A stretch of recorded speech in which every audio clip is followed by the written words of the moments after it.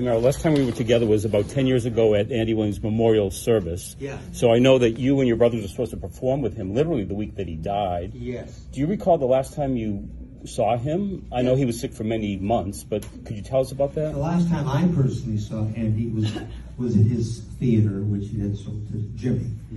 Uh, I knew he was sick, and I came to his door. He opened it But anyway, he came. He came to the door, and uh, he said, "Merrill," and I says, "Andy."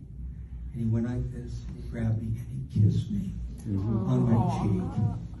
And he says, Merrill, I love you. And I says, Oh my gosh, Andy, I love you. Uh, we talked about the years. It wasn't a long conversation, and he was bent over like this. I knew he was in pain, and I said, I wanted, just want to let you know I love you.